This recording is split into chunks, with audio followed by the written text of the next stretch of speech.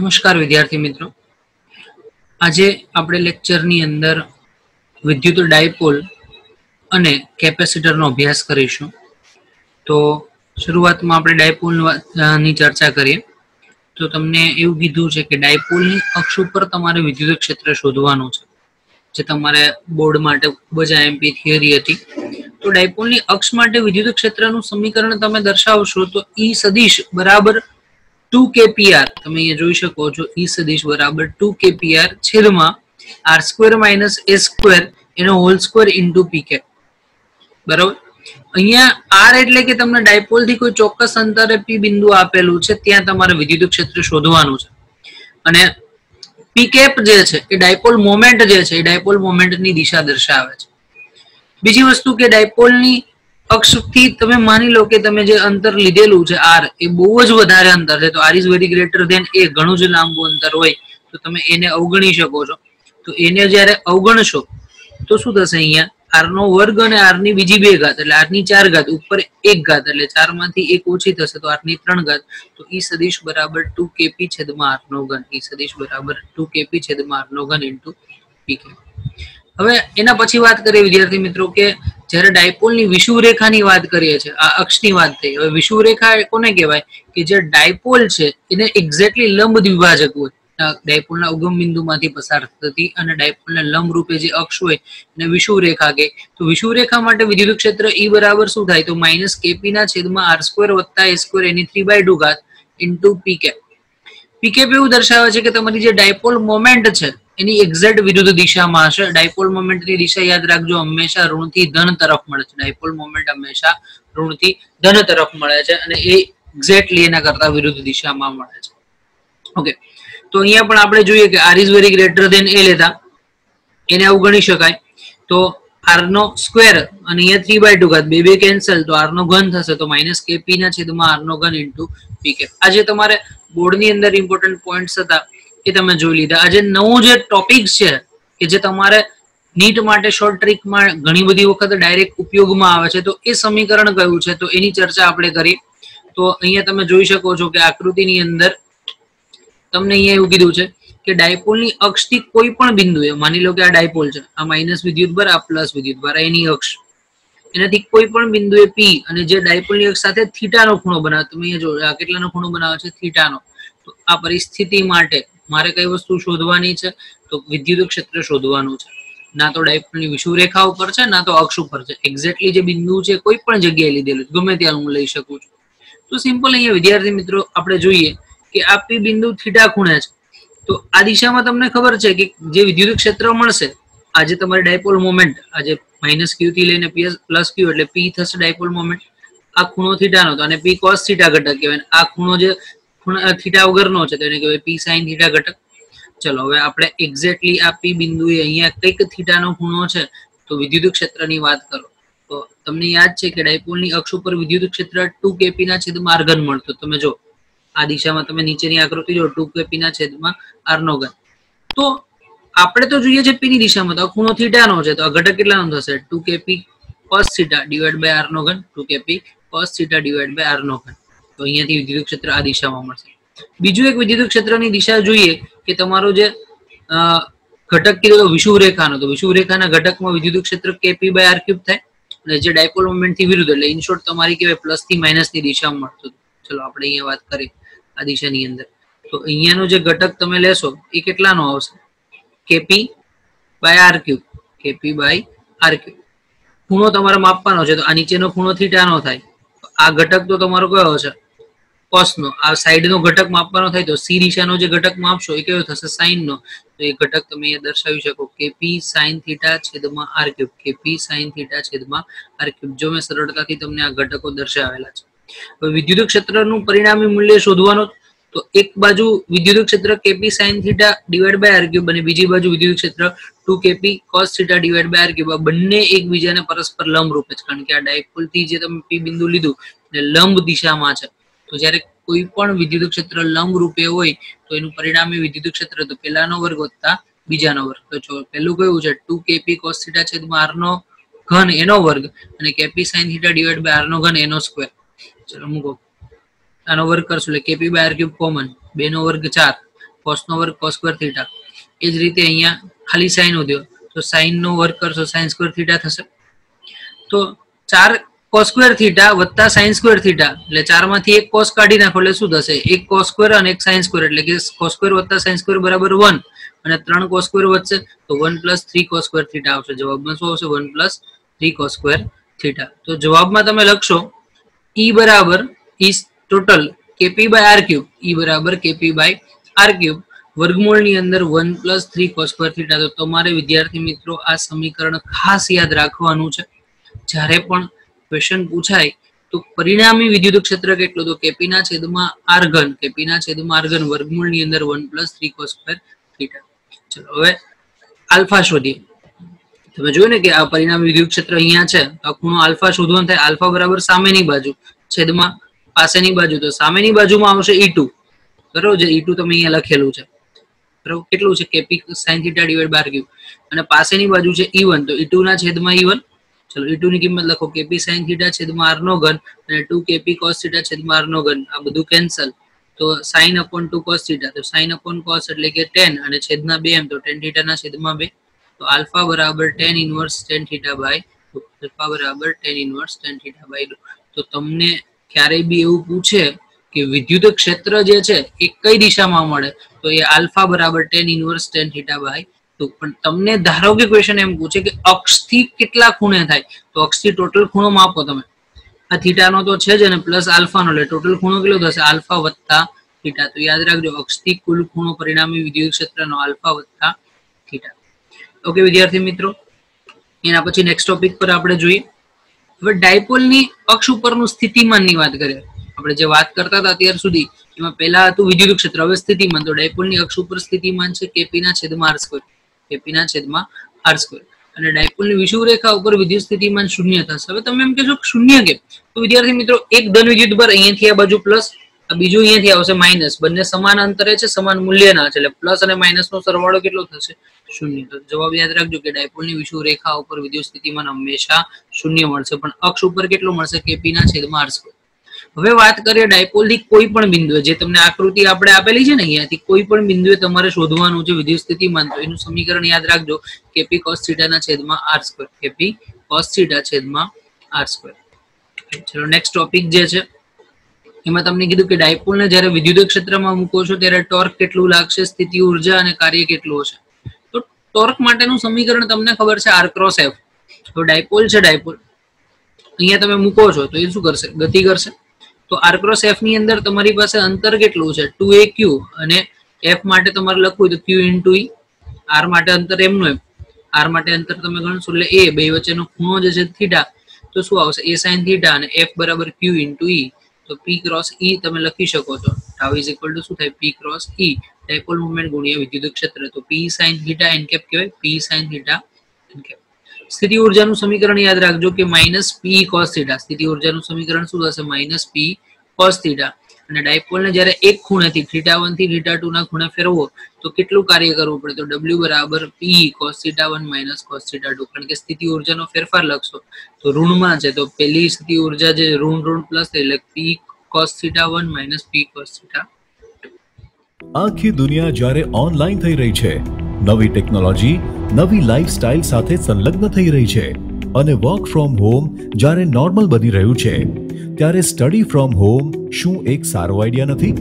Learn લિબર્ટીની નવી app ગુજરાતની સૌથી પ્રતિષ્ઠિત, વિશ્વસનીય કોચ અને માર્ગદર્શક લિબર્ટી કરિયર એકેડમી દ્વારા પ્રસ્તુત છે લર્ન એપ અને આ એપ ખાસ કરીને ધોરણ નવથી બાર ગુજરાતી અને ઇંગ્લિશ મીડિયમ તથા નીટ, જેઈઈ મેઇન અને ગુજસેટ જેવી સ્પર્ધાત્મક પરીક્ષાઓ માટે બનાવવામાં આવી છે. તો હવે લિબર્ટીની નવી લર્ન એપ ડાઉનલોડ કરીને આપ ક્યાંય પણ અને આપના અનુકૂળ સમયે અભ્યાસ કરી શકો છો. હવે આના રિલેટેડ એક ડાયપોલનો દાખલો આપણે જોઈએ. તમને ક્વેશ્ચનમાં એવું કીધું છે કે વિદ્યુત ક્ષેત્ર, વિદ્યુત ડાયપોલ મોમેન્ટને લંબ હોય. માની લો કે વિદ્યુત ડાયપોલ મોમેન્ટ માઇનસથી લઈને પ્લસ આમ, અને આ રીતે લંબ છે. તો આલ્ફા અને થીટા બેનો ટોટલ સરવાળો કેટલો થશે? નેવું નો થાય. તો પેલા આપણે લખી શકાય કે જ્યારે લંબ હોય, તો એ સ્થાન શોધવાનું છે. તો આલ્ફા પ્લસ થીટા બરાબર નાઇન્ટી તો મારે થીટા શોધવાનો છે. પ્રશ્નમાં એમ કીધું કે તમારે સ્થાન શોધવાનું થીટા. તો આલ્ફા બરાબર નાઇન્ટી માઇનસ થીટા થશે. હમણાં સમીકરણ શું કીધું? કે tan alpha is equal to tan theta by two હમણાં જો તમે આગળ સાબિત કર્યું જ છે, જો. Tan alpha is equal to tan theta by two મૂકી દો કિંમત. તો tan alpha is equal to tan theta by two પણ આલ્ફાની કિંમત કેટલી મળી? નાઇન્ટી માઇનસ થીટા તો ટેન નાઇન્ટી માઇનસ થીટા ને બાળકો આપણે શું કહીએ? કોટ થીટા કહેવાય? ટેન નાઇન્ટી માઇનસ થીટા એટલે કે કોટ થીટા તો કોટ થીટા બરાબર tan theta by two cot એટલે કે વન બાય ટેન તો વન બાય ટેન અહીંયા છેદમાં છે. આની સાથે ગુણાય તો tan into tan tan square theta is equal to two તો ટેન થીટા બરાબર રૂટ ટુ માટે થીટા બરાબર ટેન ઇનવર્સ રૂટ ટુ તો જ્યારે તમે કેટલાના ખૂણે ગોઠવશો? ટેન ઇનવર્સ રૂટ ટુ ના ખૂણે ગોઠવશો? ત્યારે ડાયપોલ મોમેન્ટ અને વિદ્યુત ક્ષેત્ર બંને એકબીજાને લંબરૂપ છે.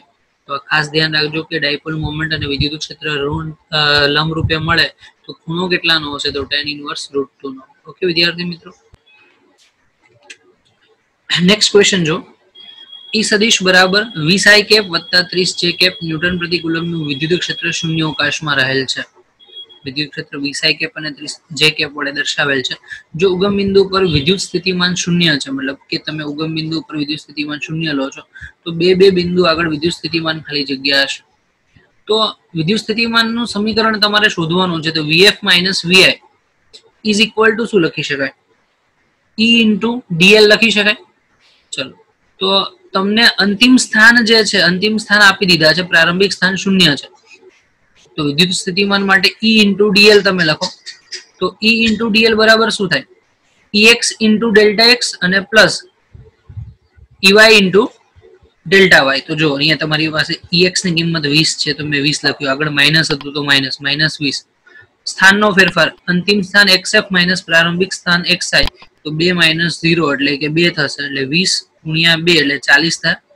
ચલો, આપણે બીજા માટે લખીએ વાય માટે. તો વાય બરાબર માઇનસ ઈવાય ઇન્ટુ ડેલ્ટા હોય તો માઇનસ ત્રીસ ગુણ્યા એફ એટલે બે અને વાય આઈ એટલે શૂન્ય.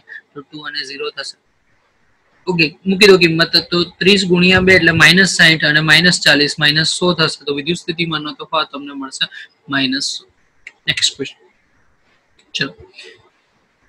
ટુ એ અંતરે રાખેલા બે વિરુદ્ધ ચિહ્નના બે સમાન વિદ્યુત ભાર બે ટુ એ જેટલું અંતર છે. બે વિરુદ્ધ ચિહ્નના, એક ધન છે, એક ઋણ છે, સમાન એટલે કે બંનેનું મૂલ્ય સરખું છે.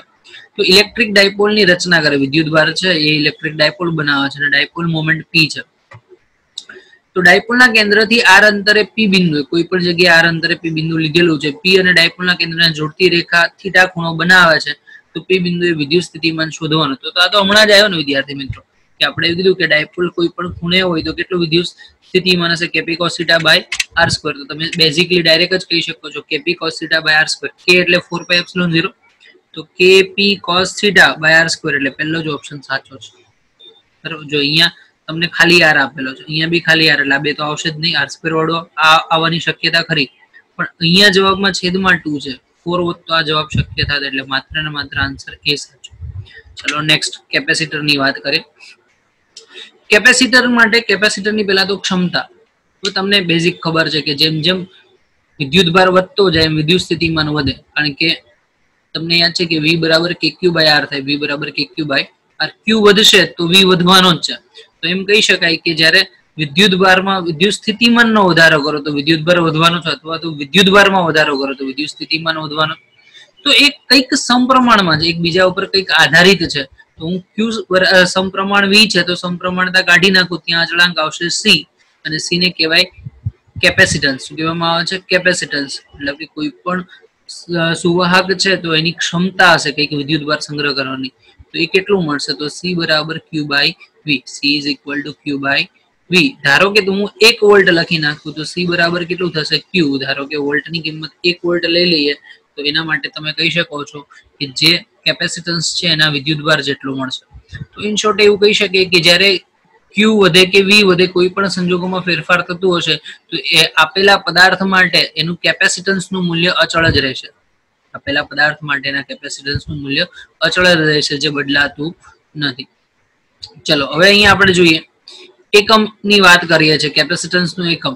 તો કેપેસિટન્સનું એકમ Q divide by V V is equal to શું થાય? ડબલ્યુ બાય ક્યુ અહીંયા લખેલું છે. V is equal to W by Q તો Q square by W Q square એટલે કે એ ટુ અને ટી ટુ ડબલ્યુ એટલે M one L two T minus two અને ઉપરમાં લઈ જાઓ તો M minus one L minus two ટીની કેટલી ઘાત થશે અહીંયા? માઇનસ બે ઉપર આવશે એટલે પ્લસ બે. એટલે ટીની ચાર ઘાત અને એની બે ઘાત. તો યાદ રાખજો કે કેપેસિટરનું ડાયમેન્શન ફોર્મ્યુલા એટલે પારિમાણિક સૂત્ર પૂછે. તો M minus one L minus two ટીની ચાર ઘાત અને એની બે ઘાત.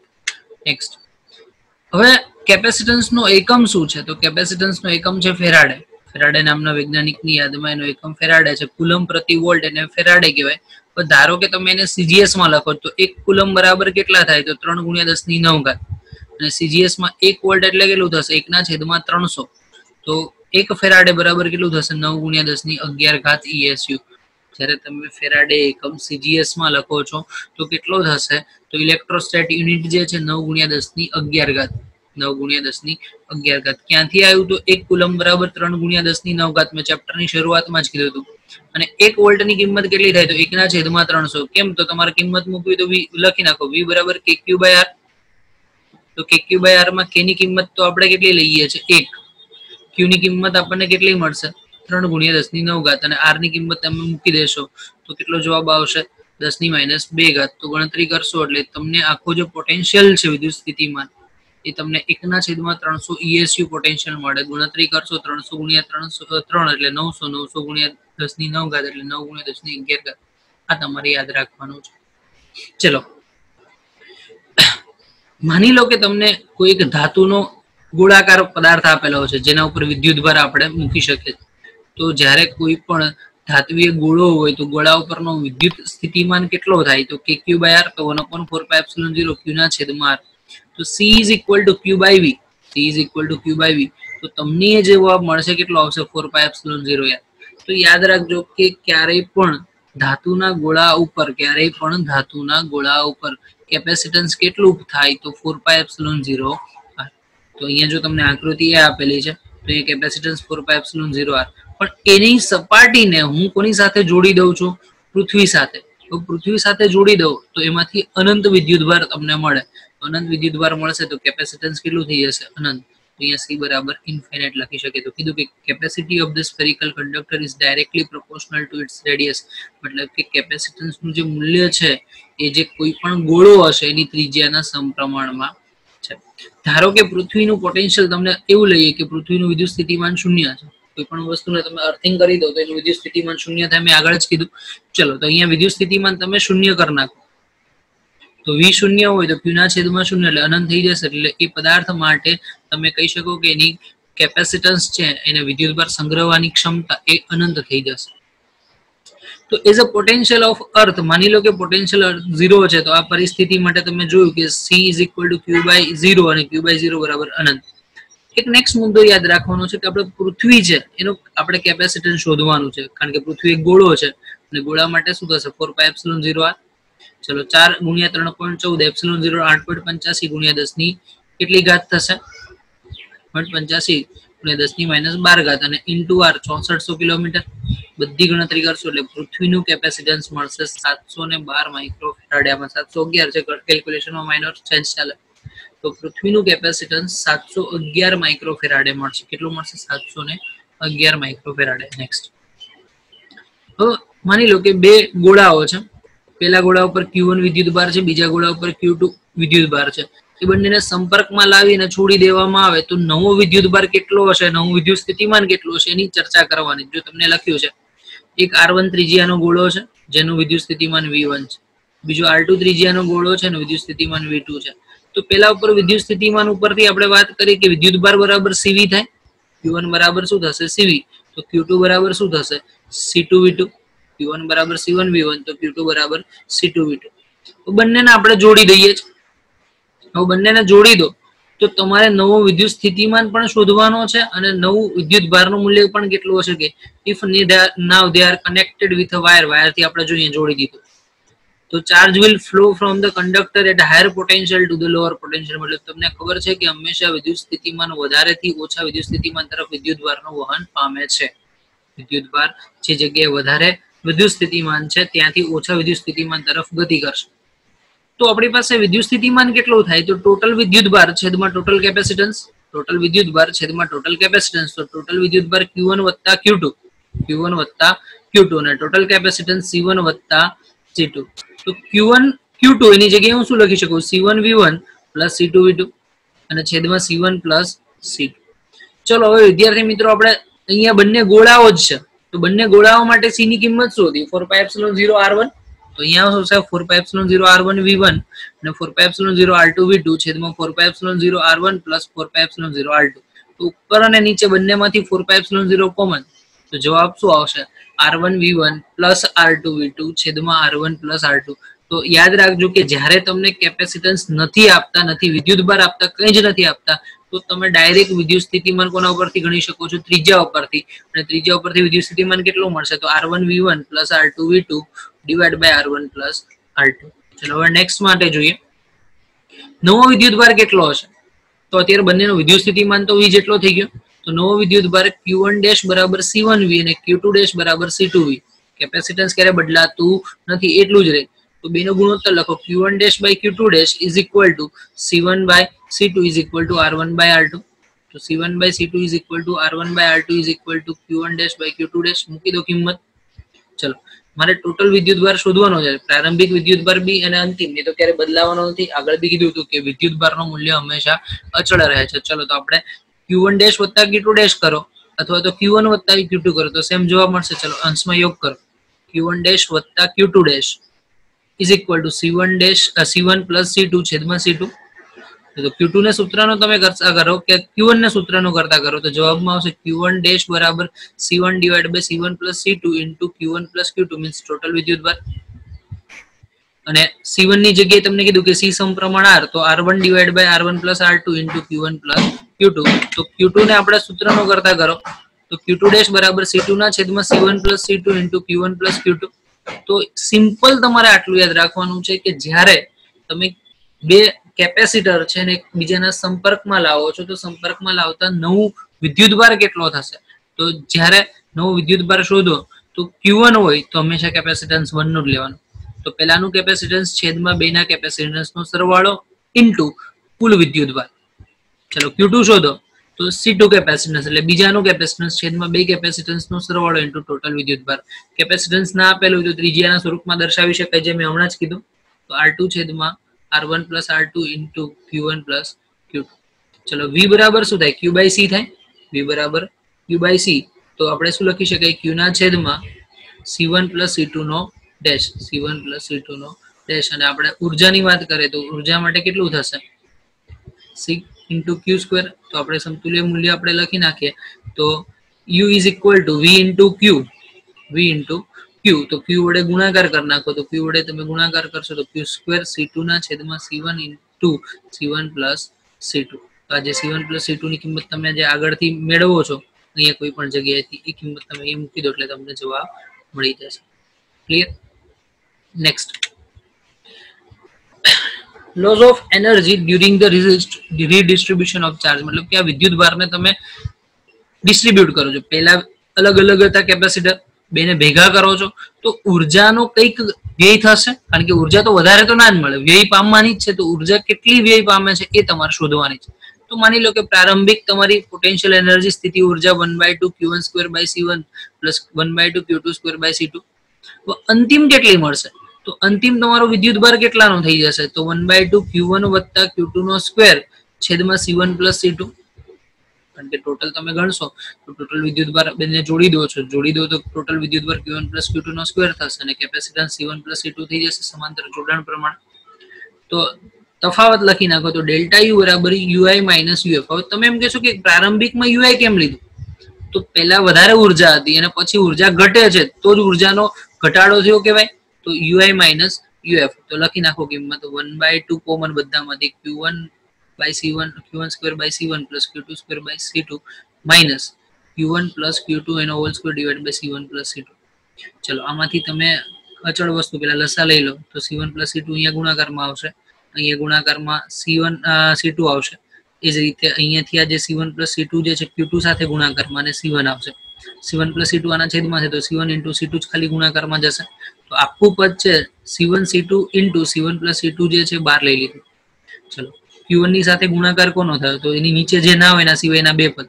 તો C two into C one plus C two ચલો. એ જ રીતે ક્યુ ટુ સાથે ગુણાકાર કોનો થાય? તો C one into C one plus C two અને Q one plus Q two સાથે ગુણાકાર કોનો થાય? તો આના સિવાયનો, એટલે C one into C two તો તમે જ્યારે ગણતરી કરશો, તો Q one square into C one C two plus Q one square C two નો વર્ગ plus Q two square C one નો square plus Q two square C one C two minus Q one square C one C two minus Q two square C one C two minus two Q one Q two into C one C two હવે આમાંથી cancel થતા હોય કરો ચલો Q one square C one C two ગયા પછી Q two square C one C two ગયા તો વધ્યું શું અહીંયા Q one square C two square Q two square C one square અને minus two Q one Q two C one C two વધ્યું ચલો, હવે બધાને આપણે પાછા ભાગાકારમાં લઈ જઈએ. આખું જે પદ છે ને લઈ જાઓ.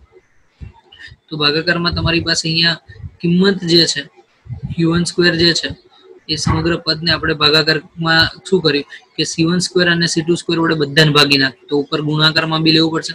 તો જો અહીંયા સી વન નો સ્ક્વેર હતો જ સી ટુ નો સ્ક્વેર ગયો, તો ખાલી આવશે સી વન. તો Q one square by C one. Q ની નીચે શું થશે? સી અને સી નો હોલ સ્ક્વેર એટલે કે સી વન સી વન ગયા તો Q two square by C two minus two Q one Q two divide by C one into C two કારણ કે ઉપર જો એક એક પદ છે એટલે કેન્સલ થશે. ઓકે નેક્સ્ટ પદમાંથી કઈ કોમન નીકળે છે અહીંયાથી, તો હા, આ પૂર્ણવર્ગ પદાવલી જેવું જ થશે. પૂર્ણવર્ગ પદાવલી જેવું થાય, તો એના માટે C one into C two divide by two C one plus C two V one square plus V two square minus two V one V two clear તો ડેલ્ટા યુ બરાબર આપણે શું લખી શકીએ? C one into C two divide by two C one plus C two V one minus V two no whole square તો વિદ્યાર્થી મિત્રો direct હું તમને અહીંયા કહી દઉં કે આ સમીકરણને યાદ કઈ રીતે રાખવાનું? તો વન બાય ટુ બે કેપેસિટરનો ગુણાકાર છેદમાં બે કેપેસિટરનો સરવાળો.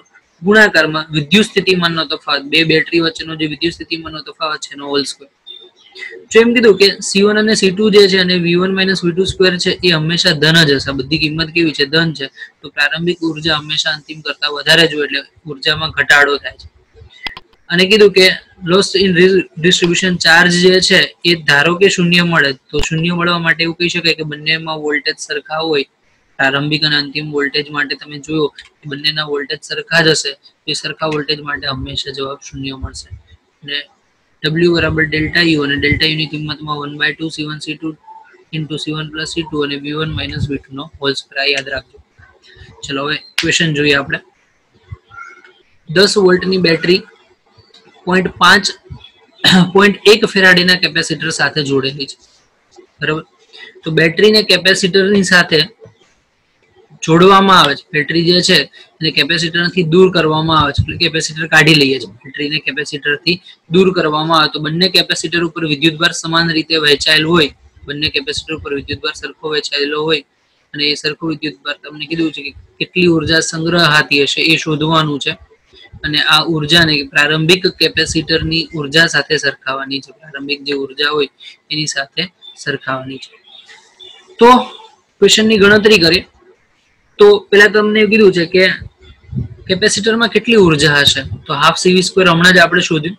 તો યુ બરાબર બે કેપેસિટર છે, તો one by two C one V one square plus one by two C two V two square બંને માટે કેપેસિટન્સ બી સરખા અને ઊર્જા બી સરખી. તો શું થશે?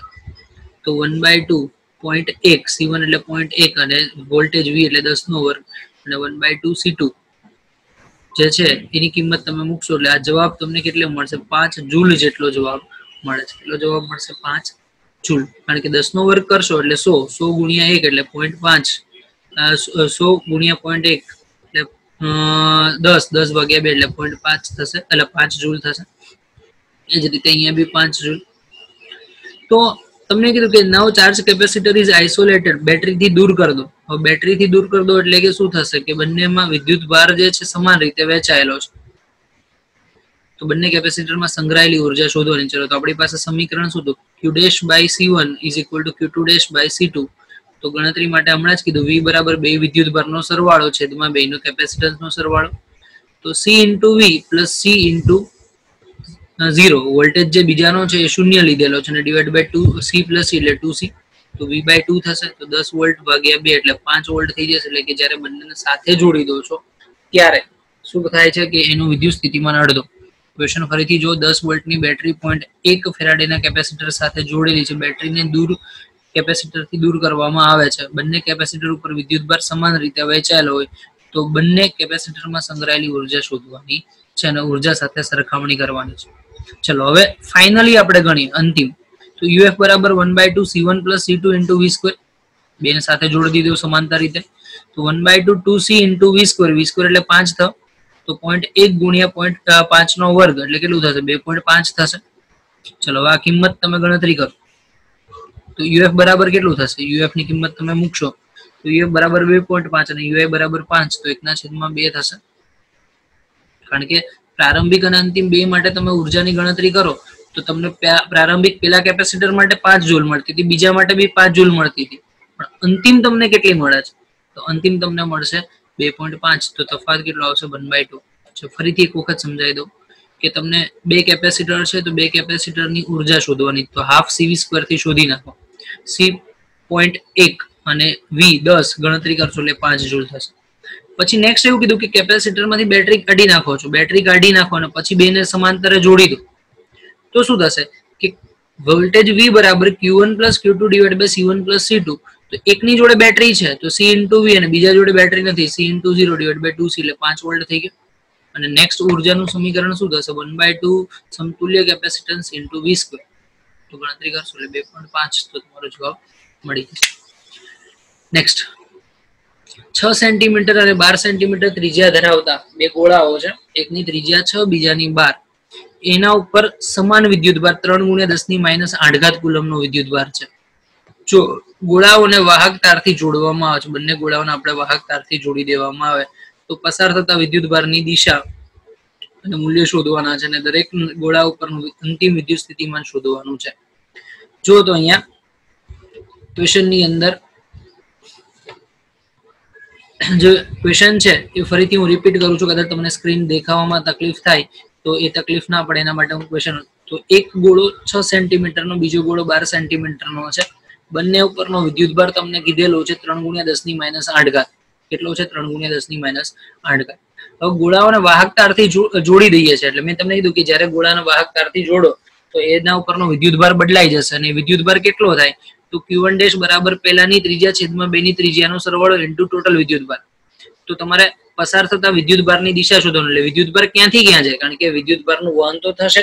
તો ક્યાંથી ક્યાં થાય? એ શોધવાનું છે. અને અંતિમ સ્થિતિમાન કેટલું હશે? એ શોધવાનું છે. ચલો તો પહેલા આપણે કામ કરીએ. ક્યુ વન ડેશ શોધો. ક્યુ વન ડેશ બરાબર આર વન છેદમાં R one plus R two into Q R તમને છ બેનો સરવાળો અઢાર, છ વત્તા બાર અઢાર. અને ગુણ્યા ટોટલ વિદ્યુત ભાર ત્રણ અને ત્રણ, એટલે છ ગુણ્યા દસની આઠ ઘાત થશે. તો છ છ, એટલે છત્રીસ છત્રીસ ના છેદમાં અઢાર. છત્રીસ ના છેદમાં અઢાર, એટલે બે થશે, બે ગુણ્યા દસની માઇનસ આઠ ઘાત કુલમ તો ક્યુ વન ડેશ પર બે થાવ ક્યુ ટુ ડેશ ઉપર આપણે શોધીએ. તો ક્યુ ટુ ડેશ ઉપર શું થશે? આર ટુ છેદમાં R one plus R two into Q તો બાર છેદમાં અઢાર ગુણ્યા ત્રણ વત્તા ત્રણ છ, તો બાર છંગ બોતેર બોતેર ભાગ્યા અઢાર અઢાર ચોક બોતેર થશે એટલે ચાર ગુણ્યા દસની માઇનસ આઠ ઘાત થશે. તો ઇન શોર્ટ જે મોટો ગોળો છે, એના ઉપર વિદ્યુત ભાર ચાર ગુણ્યા દસની માઇનસ આઠ થયો. નાનો ગોળો છે ત્યાં બે થયો. એટલે વિદ્યુત ભારનું વહન ક્યાંથી થયું? તો વિદ્યુત ભારનું વહન થાય છે જે નાની ત્રિજ્યાનો ગોળો છે ત્યાંથી વધારે. સિમ્પલ તમને ખબર છે કે જેની પાસે ત્રિજ્યા વધારે હોય, એની સંગ્રહ શક્તિ વધારે હશે. તો જુઓ કે વિદ્યુત ભારનું વહન કેટલું થયું તો એક ગુણ્યા ટોટલ શરૂઆતમાં કેટલો હતો? ત્રણ. રહ્યો કેટલો? બે. તો ડિફરન્સ કેટલાનો આવ્યો? દસની માઇનસ આઠ ઘાતનો. તો એક ગુણ્યા દસની માઇનસ આઠ ઘાતનો વિદ્યુત ભાર નાના ગોળાથી મોટા ગોળા પર, એટલે કે છ સેન્ટીમીટરના ગોળાથી બાર સેન્ટીમીટરના ગોળામાં જશે. નેક્સ્ટ તમને કીધું કે અંતિમ વિદ્યુત સ્થિતિમાન શોધવાના છે. તો વી વન ડેશ બરાબર Q one dash by C one તો ક્યુ વન ડેશ તમને કેટલાનો મળ્યો? નવો વિદ્યુત ભાર. બે ગુણ્યા દસની માઇનસ આઠ ઘાત. અને જે સી વન છે, એની કિંમત કેટલી મળી? તો સી વનની કિંમત તમને કેટલી મળશે? સીવન સીવન સીવન શોધવાનું થશે. તો four pi epsilon zero four pi epsilon zero R તો વી વન ડેશ બરાબર Q one by C one તો કિંમત મૂકો. તો ક્યુ વનની કિંમત four pi epsilon zero R one તો વન અપોન ફોર પાઇપ નો ઝીરો એટલે કે થયું તો નવ ગુણ્યા દસની નવ ઘાત, પછી બે ગુણ્યા દસની માઇનસ આઠ ઘાત ક્યુ વન ડેશ અને છ ગુણ્યા દસની માઇનસ બે ઘાત એટલે ત્રણ કિલો વોલ્ટ થયું. ચલો વી ટુ ડેશ બરાબર Q two dash by C two તો શું થશે? Q two dash divide by four pi zero R two કારણ કે સી ટુ ની કિંમત શું થાય? Four pi zero R two નવ ગુણ્યા દસની નવ ઘાત, ચાર ગુણ્યા દસની માઇનસ આઠ, છેદમાં બાર ગુણ્યા દસની માઇનસ બે, એટલે ત્રણ કિલો વોલ્ટ. તો બંનેના વિદ્યુત સ્થિતિમાન સરખા મળે છે. તો જ્યારે બંનેને તમે જોડી દો, મેં તમને કીધું હતું કે બે ગોળાઓને તમે જોડી દેશો, તો એ બંને ગોળાને વાહકતારથી જોડતા એનો વિદ્યુત સ્થિતિમાન સરખો થઈ જાય. જો સાબિત તમને મળી ગયું, બંનેમાં વિદ્યુત સ્થિતિમાન સરખો છે. નેક્સ્ટ ક્વેશ્ચન પંદર નેનો ફેરેડેનું કેપેસિટર સિત્તેર વોલ્ટની બેટરી સાથે જોડેલ છે. બે પ્લેટ વચ્ચેનું અંતર બમણું કરવામાં આવે, તો બેટરી વડે થતું કાર્ય કેટલું છે? ફરીથી કહું કે પંદર નેનોફેરેડનું કેપેસિટર છે, સિત્તેર વોલ્ટની બેટરી સાથે જોડેલ છે. બે પ્લેટ વચ્ચેનું અંતર આપણે બમણું કરીએ છીએ, તો બેટરીને કેટલું કાર્ય કરવું પડશે એ શોધવું પડશે. તો સિમ્પલ કેપેસિટન્સનું મૂલ્ય પણ શું થશે? બદલાઈ જશે. કારણ કે બમણું અંતર કરશો, તો છેદમાં ડી છે, એ ડી ની જગ્યાએ ટુ ડી થશે, એટલે કેપેસિટન્સ જે છે એ કેટલું થઈ જશે? ચેન્જ થઈ જશે. તો કાર્ય ડબલ્યુ બરાબર one by two C one V square minus one by two C two V square voltage તો સરખો જ છે, કારણ કે સિત્તેર વોલ્ટની બેટરી જોડે. તો V square divide by two C one minus C two તો કેપેસિટન્સ સી બરાબર epsilon zero A by D થશે. કેપેસિટન્સ સી બરાબર epsilon zero A by D પછી તમે છેદમાં ટુ કરો, બમણું કરો. એટલે કેટલું થશે? કેપેસિટન્સનું મૂલ્ય પણ કેટલું થઈ જશે? અડધું થઈ જશે. તો પેલા પંદર હતું ને બીજી વખત અડધું, એટલે પંદર ભાગ્યા બે થશે. તો one by two V square પંદર માઇનસ પંદર ભાગ્યા બે. તો પંદરમાંથી સાત પોઈન્ટ પાંચ માઇનસ કરશો એટલે સાત પોઈન્ટ પાંચ આવશે. તો જવાબમાં આવશે one by two V square સિત્તેર નો વર્ગ એટલે ચાર હજાર નવસો અને સાત પોઈન્ટ પાંચ નેનો ફેરાડે અહીંયા તમે લખશો તો સાત પોઈન્ટ પાંચ નેનો ફેરાડે માટેની કિંમત દસની માઇનસ નવ ઘાત. તો ગણતરી તમે સંપૂર્ણ કરશો તો અઢાર હજાર ત્રણસો પંચોતેર ગુણ્યા દસની માઇનસ નવ ઘાત જૂલ. એટલે કે જ્યારે કેપેસિટરની બે પ્લેટ વચ્ચેનું અંતર બમણું કરશો તો કાર્ય કેટલું કરવું પડશે? અઢાર હજાર ત્રણસો ને પંચોતેર ગુણ્યા દસની માઇનસ નવ ઘાત જે બહુ જ બહુ રેર ઓફ રેર કહેવાય, જાતે તમે કોઈ જ વધારે વિધાઉટ પ્રોબ્લેમ કરી શકો છો. નેક્સ્ટ ટોપિક છે સમાંતર પ્લેટ કેપેસિટર. બે પ્લેટ કેપેસિટરને આપણે સમાંતર ગોઠવીએ છીએ. તો એનું મૂલ્ય કેટલું થાય? તો epsilon zero A by D. Epsilon zero એટલે કે શૂન્ય અવકાશની પરમેબિલિટી પરમિટિવિટી એ એટલે કે ક્ષેત્રફળ અને ડી એટલે બે પ્લેટ વચ્ચેનું અંતર. હવે તમને એમ કીધું કે આવી બે પ્લેટની જગ્યાએ એન પ્લેટ ગોઠવીએ છે એક, બે, ત્રણ, ચાર, પાંચ, છ, સાત એમ એન પ્લેટ ગોઠવેલી છે. તો એન પ્લેટ વચ્ચે કેપેસિટર કેટલા થાય? તો તમે વિચાર કરો.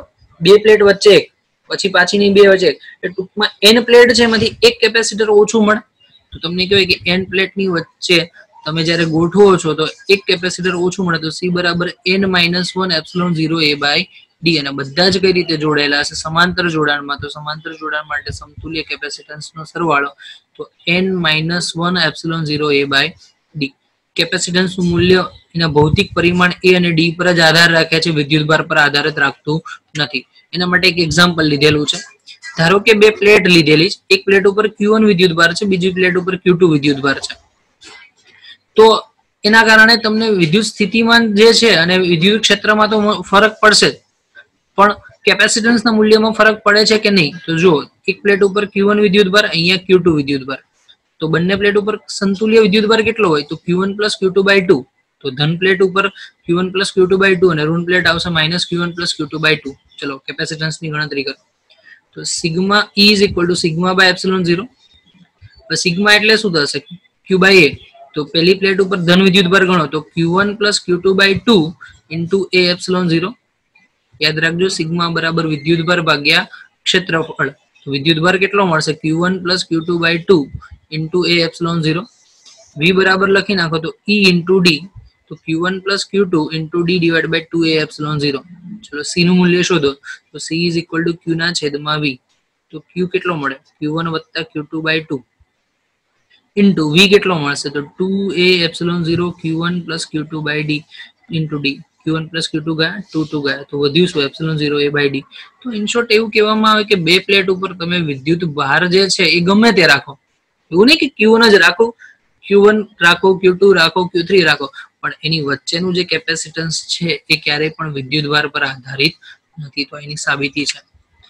કેપેસિટરની અંદર સંગ્રહિત ઊર્જા કેટલી હશે? તો કેપેસિટરની સંગ્રહિત ઊર્જા half CV square half Q square by C અને ક્યુવી બાય ટુ આ સૂત્ર ત્રણે ત્રણ યાદ રાખજો. દાખલા માટે ઇમ્પોર્ટન્સ છે. Half CV square half Q square by C અને ક્યુવી બાય ટુ નેક્સ્ટ કેપેસિટરની બે પ્લેટ છે. એના ઉપર બળ કેટલું લાગશે? તો સિમ્પલ તમે જો આ પ્લસ વિદ્યુત ભાર અને આ માઇનસ અહીંયા વિદ્યુત ક્ષેત્ર ઈબી છે અને અહીંયા વિદ્યુત ક્ષેત્ર ઈએ છે.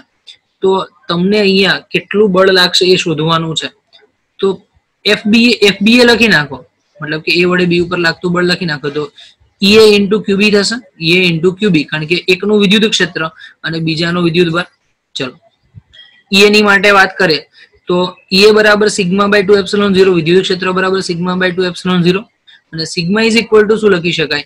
તો ક્યુ બાય ટુ ટુ એમ નો એમ Q by A two epsilon zero થઈ ગયું. ચલો ઈએ મળી ગયું. એફબીએ લખો. તો એફબીએ માટે આપણે શું લખી દઉં?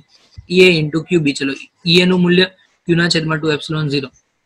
Into Q તો Q into Q Q square થયું તો Q square divide by two epsilon zero A મેં ડી વડે ભાગાકાર કર્યો ડી વડે અહીંયા બી ભાગાકાર કર્યો બે સમીકરણમાં ઉપર નીચે ડી વડે ભાગાકાર કરો two epsilon zero A by D એટલે શું કહેવાય સી કહેવાય તો શું થશે Q square by two C D Q square by two C D ચલો એફ બીએ ની એ કિંમત તમને ખબર છે એ બીએ બરાબર શું લખી શકાય ઊર્જા ભાગ્યા અંતર તો ઊર્જા ભાગ્યા અંતરમાં વન બાય ટુ ઉર્જાનું સૂત્ર શું થશે? One by two epsilon zero E square into A D છેદમાં ડી ડીડી કેન્સલ તો એફ બી એ બરાબર શું લખાય? One by two epsilon zero E square into A તો તમારું એક સમીકરણ આ મળશે. બીજું સમીકરણ અહીંયા મળશે. તો બે સમીકરણ યાદ રાખજો કે એફ બી એ બરાબર Q square divide by two C D અને એફ બી એ બરાબર one by two epsilon zero E square into A clear next જો હવાની ડાયલેક્ટ્રિક સ્ટ્રેન્થ તમને હવાની ડાયલેક્ટ્રિક સ્ટ્રેન્થ ત્રણ કિલો વોલ્ટ પ્રતિ મિલીમીટર આપેલી છે. એટલે કે તમને વિદ્યુત ક્ષેત્ર આપેલું છે ત્રણ કિલો વોલ્ટ પ્રતિ મિલીમીટર. તો છસો વોલ્ટના વિદ્યુત સ્થિતિમાન અને દસ સેન્ટીમીટર ગુણ્યા આઠ સેન્ટીમીટર ગુણ્યા છ સેન્ટીમીટરનું કદ છે. મતલબ વોલ્ટેજ બી આપેલો છે અને કદ બી આપેલો છે. દસ, આઠ અને છ, ત્રણેયનો ગુણાકાર. તો એક કદ ઉપર કેપેસિટરની કાર્યક્ષમતા કેટલી હશે તમારે શોધવાની છે. કેપેસિટર જે છે એની કાર્યક્ષમતા કેટલી હશે તમારે શોધવાની છે. તો કાર્યક્ષમતા મતલબ કે કેપેસિટી કેટલી છે? કેપેસિટરની ક્ષમતા સી સી નું મૂલ્ય શોધવાનું છે. તો પેલા તો સી નું મૂલ્ય શોધવા માટે આપણે યુ નું સૂત્ર લખું, યુ બરાબર હાફ સીવી સ્ક્વેર. ઊર્જા ઘનતા મારે શોધવી પડે. તો ઊર્જા ઘનતા યુ જો મેં તમને લાલ કલરથી અલગથી લખેલું છે. યુ બરાબર યુ છેદમાં વી. મતલબ આપેલી ઊર્જા છેદમાં કદ. કદ એટલે કે વી વડે દર્શાવેલું. તો યુનું સૂત્ર તમે લખશો તો શું થશે? તો યુ બરાબર half C V square U બરાબર હાફ સીવી સ્ક્વેર તો one by two C C ની જગ્યાએ શું લખ્યું? Epsilon zero A by D અને વી બરાબર ઈ ઇન્ટુ ડી તો ઈ સ્ક્વેર ડી સ્ક્વેર થયું. અને છેદમાં એ ડી તો જો અહીંયાથી એક વખત ડી અહીંયાથી એ ડી એટલે ડી નો સ્ક્વેર કેન્સલ એ કેન્સલ તો યુઈ ની કિંમત કેટલી મળી? One by two epsilon zero E square ચલો, આ કિંમતને હું અહીંયા યુઈ બરાબર લખી નાખું. તો યુઈ બરાબર one by two epsilon zero into E square જે આગળ તમને સાબિત કરેલું છે. તો યુ બરાબર શું લખી શકાય? યુઈ ઇન્ટુ વી લખાય? તો યુઈ એટલે one by two epsilon zero E square અને ઇન્ટુ વી વી એટલે કદ. ચલો, આ સમીકરણને હું સરખાઈ દઉં. બંને સમીકરણને સરખાવું તો one by two C V square is equal to one by two epsilon zero E square into V ચલો વન બાય ટુ ગયા. સી ને સૂત્રનો કરતા કરો એટલે વી છેદમાં જશે. તો વી છેદમાં આવશે તો અહીંયા ઈ સ્ક્વેર છે ને અહીંયા વી સ્ક્વેર છે. તો એપ્સિલોન ઝીરો ઇન્ટુ વી કૌંસમાં ઈ બાય વી એનો હોલ સ્ક્વેર મૂકી દો બધી કિંમત. ચલો એપ્સિલોન ઝીરો આઠ પોઈન્ટ પંચ્યાસી ગુણ્યા દસની માઇનસ બાર ઘાત. કદ વી, એટલે કેટલું છે? દસ આઠ છ, તો દસ ગુણ્યા આઠ ગુણ્યા છ, અને દસની માઇનસ છ ઘાત. ઈ કેટલાનું છે? તો ઈ તમને આપી દીધું છે ત્રણ કિલો વોલ્ટ તો ત્રણ ગુણ્યા દસની છ ઘાત. અને પ્રતિ મિલીમીટર છે, એટલે દસની માઇનસ ત્રણ ઉપર આવશે, એટલે દસની છ ઘાત થઈ ગઈ ટોટલ ત્રણ પ્લસ ઉપર અને ત્રણ માઇનસ નીચે, એટલે માઇનસ ત્રણ ઉપર એટલે પ્લસ અને છેદમાં છસો. તો સમગ્ર ગણતરી કરશો, એટલે સીની કિંમત તમને મળશે ઝીરો પોઈન્ટ દસ બાસઠ માઇક્રોફેરાડે ઝીરો પોઈન્ટ દસ બાસઠ માઇક્રોફેરાડે ક્લિયર નેક્સ્ટ ક્વેશ્ચન પર જઈએ. સમાંતર પ્લેટ કેપેસિટરની અંદર એક કેપેસિટન્સ સી છે. ક્વેશ્ચન હું તમને સમજાવું છું, જોઈ લેજો. એક કેપેસિટન્સ સી છે, એને વી વોલ્ટની બેટરી સાથે જોડેલું છે. બીજું કેપેસિટન્સ ટુ સી છે, એને ટુ વી વોલ્ટની બેટરી સાથે જોડેલું છે. તો બેટરીને દૂર કરી નાખીને બંને કેપેસિટરને ધન સાથે ધન ને ઋણ સાથે ઋણ એમ સમાંતરે જોડીએ છે તો તંત્રની પરિણામી ઊર્જા શોધવાની છે. જો આકૃતિમાં તમે જો, પેલું કેપેસિટર છે ને વી વોલ્ટની બેટરીથી મેં ચાર્જ કર્યું એટલે કે એનો વોલ્ટ વી હશે, અહીંયા કેપેસિટન્સ સી છે. પછી બીજી કેપેસિટર સી ટુ બરાબર ટુ સી છે, અને ટુ વોલ્ટની બેટરી સાથે કનેક્ટ કરેલું છે. અને જેના માટે તમે જોઈ શકો, તો આ ધન છેડો અને આ બી ધન છેડો, ધન સાથે ધન અને ઋણ સાથે ઋણ જોડેલું, જે મેં તમને અહીંયા આકૃતિમાં દર્શાવેલ છે. ઓકે, તો વિદ્યુત ભારની આપણે ગણતરી કરીએ તો વિદ્યુત ભાર ક્યુ બરાબર સીવી થાય, તો ક્યુ વન બરાબર સી વન વી વન એટલે કે સીવી અને ક્યુ ટુ બરાબર સી ટુ વી ટુ એટલે C2 ની કિંમત ટુ સી અને V2 ની કિંમત ટુ વી તો two C into two V is equal to four C V થઈ ગયું. અહીંયા લોકોની મિસ્ટેક છે, લખતા ભૂલી ગયા છે. તો ફોર સીવી થશે.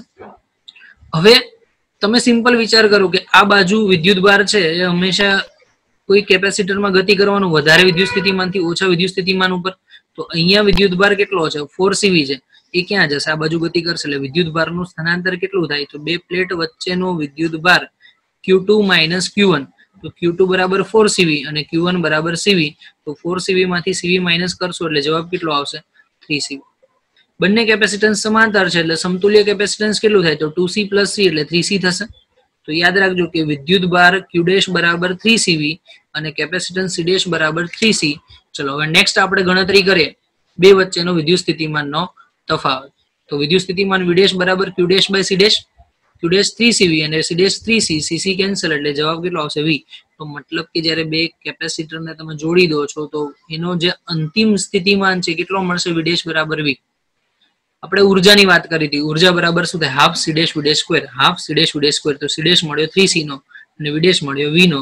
તો three C by two into V square તો three by two C V square જવાબ કેટલો આવશે? Three by two C V square તો વિદ્યાર્થી મિત્રો, આજના લેક્ચરમાં આટલું કેપેસિટરનું રાખીએ. નેક્સ્ટ લેક્ચરમાં ફરીથી કેપેસિટરની ચર્ચા કરીશું.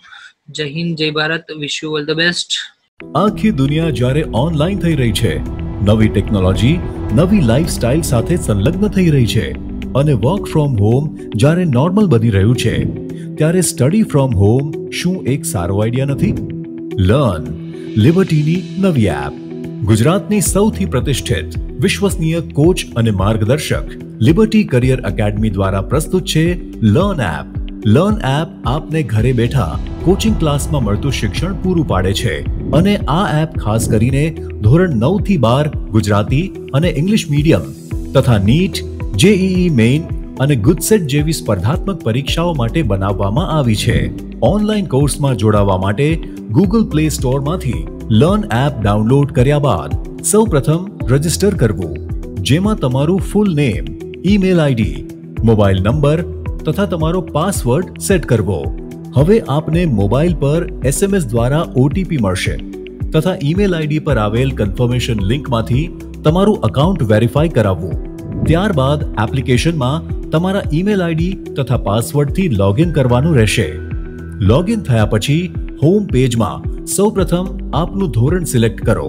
તેમાં સિલેક્ટ કરવાથી આપને બેચની વિગતો ઉપરાંત ક્લાસીસ ટેસ્ટ સ્ટડી મટીરિયલ તથા બીજી વિશેષ માહિતી જોવા મળશે. એક વખત આ પ્રક્રિયા પૂરી થયા પછી બાય નાવ બટન ક્લિક કરીને આપેલ પેમેન્ટ ઓપ્શન્સમાંથી કોઈ પણ ઓપ્શન જેવા કે ડેબિટ કાર્ડ ક્રેડિટ કાર્ડ અથવા ગૂગલ પે સિલેક્ટ કરીને તરત જ એનરોલ કરી શકો છો. હવે આપની નક્કી કરેલી બેચ ખુલશે. નમસ્તે વિદ્યાર્થી મિત્રો. અને અનુકૂળતા પ્રમાણે આપ નિષ્ણાંત શિક્ષકો દ્વારા સમજાવવામાં આવેલ લેક્ચર સેશન્સ જોઈ શકો છો. આ લેક્ચરને વધુ સમજવા માટે પીડીએફ મટીરિયલ્સ ડાઉનલોડ કરી શકશો. એક વખત વિષય સમજી લીધા પછી ચેપ્ટર વાઇઝ ક્વિઝ આપીને પોતાની વિષય સમજ ચકાસી શકો છો. અને જો ક્યાંક આપને કોઈ સમસ્યાનો ઉકેલ ના મળે, તો ચિંતા ના કરશો. અમારા ઇન્ટરેક્ટિવ લાઈવ ડાઉટ સોલ્વિંગ સેશન્સમાં લાઈવ ચેટ બોક્સ દ્વારા તમારી મૂંઝવણ તરત દૂર કરી શકો છો.